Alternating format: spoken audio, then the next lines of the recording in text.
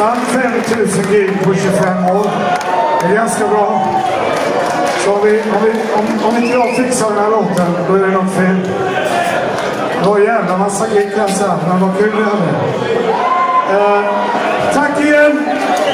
Tack för att ni kom. Det var grymt att vara här och leva för er. Vi kommer jättegärna tillbaka.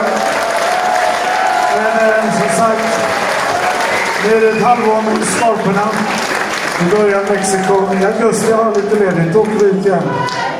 Det fan. Kom till Vacken. Vi lirar ju torsdag den första augusti tror jag. Vi är headlinern i Skaparna. Ta med saft och bulle också. Tack för oss gubbar.